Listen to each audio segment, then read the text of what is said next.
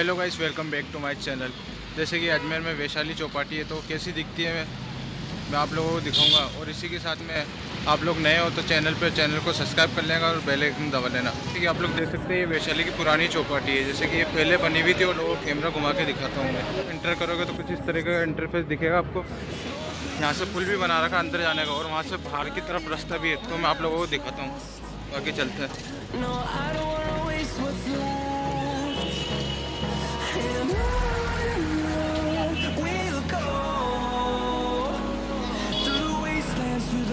देख सकते हैं, ये पुल बना हुआ है। राइट साइड ये पानी के बीच में आना सागर के बीच में मतलब। ये पुल पार करके आप अजमेर की वैशाली की जो सबसे पुरानी चौपाटी, उस चौपाटी पे पहुँच जाओगे। जो कि बनने की शुरुआत हुई थी तो वहाँ से शुरुआत हुई थी। और बाकी ये सारी बनते बनती नई चौपाटी बन चुकी है।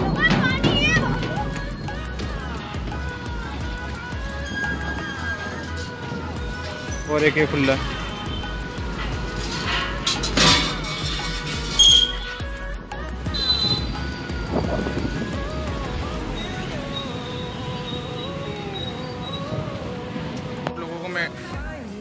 जैसे कि आप लोगों को मैं एंट्री गेट दिखाता हूँ कि कहाँ से आप एंट्री कर सकते हो। जैसे कि मेरे पीछे एंट्री गेट बना, आप यहाँ से एंट्री कर सकते हो और वहाँ से भी कर सकते हो।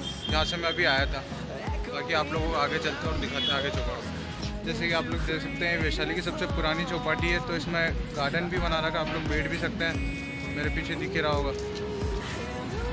यह गार्डन भी बना रखा और बाकी ये घूमने के लिए चौपाटी बना रखी और आपको, आप लोगों को आना है तो नाइट में सात बजे आना चाहिए कम से कम, जो कि यहाँ पे लाइट वगैरह चलती है तो बहुत मस्त दिखता है यहाँ से व्यू।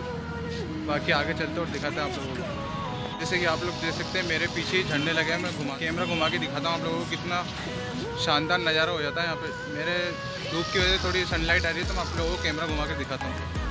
आप लोग देख सकते हैं, जैसे कि यहाँ पे लाइटिंग वाले फुहारे भी लगे लगे हुए हैं। तो आप लोग नाइट में आओगे तो इतना प्यारा व्यू दिखता है यहाँ से कि कुछ कह नहीं सकते। इतना प्यारा नज़ारा दिखता है यहाँ पर नाइट में। लाइटिंग वगैरह सब लगी हुई है, बाकी बोटिंग के लिए सामने जा सकते हो आप, वहाँ पे बोटिंग होती है। जैसे कि आप लोग देख सकते हो कि यहाँ पर गार्डन भी बना हुआ है। बाकी आप लोगों को मैं अंदर चल के दिखाता हूँ। जैसे कि आप लोग देख सकते हैं यहाँ पर गार्डन भी बना हुआ है और सामने लाइटिंग वाले फुहारे भी लगे हुए हैं।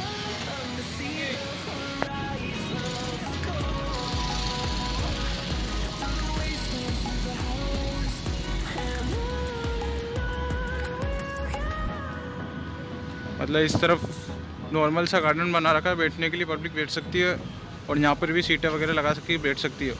और यहाँ पर लाइटिंग वाला झंडा लगा रखा लगा रखा है, जो कि साउंड भी चलता है म्यूज़िक भी चलता है म्यूज़िक के हिसाब से झंडा चलता है। और नाइट में कम से कम आप सात या आठ बजे आना तो व्यू हो जाता है यहाँ का कि आप कुछ कह ही नहीं सकते। बाकी आगे चलते हैं और दिखाते हैं आप लोगों को। देख सकते हैं, दो एंट्री गेट बना रखे हैं। फ़र्स्ट एंट्री गेट तो ये है और सेकंड एंट्री गेट वो है, जो मैंने सबसे लास्ट में दिखाया था आपको। बाकी दिखाते हैं आप लोगों को कैमरा घुमा के।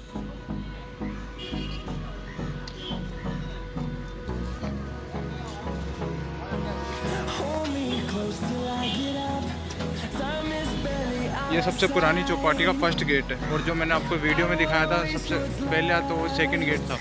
बाकी आगे चलते हैं, यहाँ से आप लोग बोटिंग वगैरह कर कर सकते हैं, वहाँ पे लेके चलते हैं, आप लोगों को दिखाते हैं.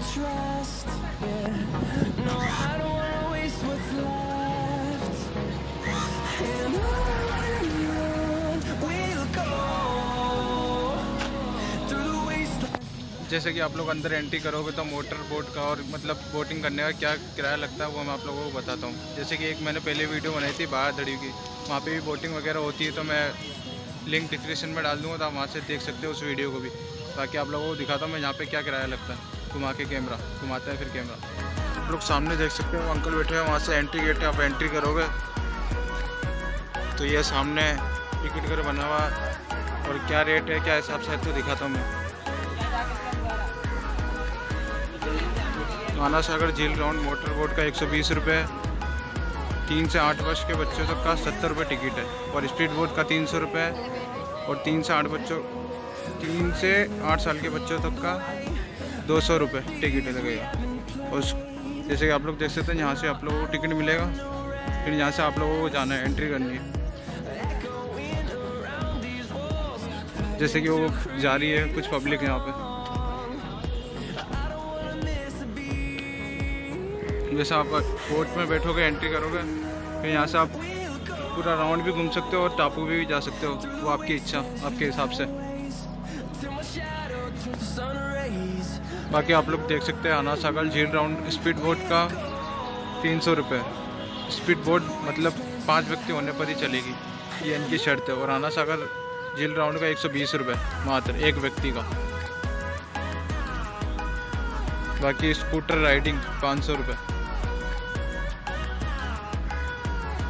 बाकी सब कुछ इस पर दे रखा है, बाकी आप देख सकते हो।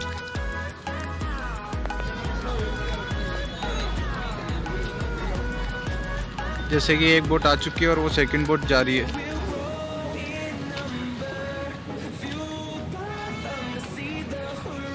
सेकंड बोट भी रवाना हो गई है झील का चक्कर लगाने के लिए, क्योंकि उसमें पाँच या सात लोग बैठते हैं, तभी रवाना होती है, क्योंकि दो तीन पब्लिक खड़ी हुई थी तो पाँच या छः जने हुए तो फिर उन्होंने बोट स्टार्ट करी। आप लोग देख सकते हैं झील का राउंड लगाने के लिए जा रही है बोट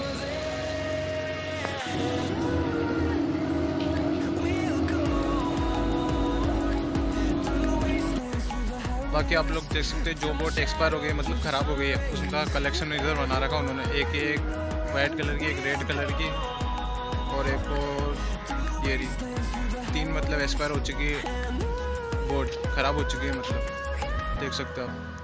जैसे कि आप लोग देख सकते हो, काफ़ी पब्लिक आ जाती है यहाँ पर शाम को।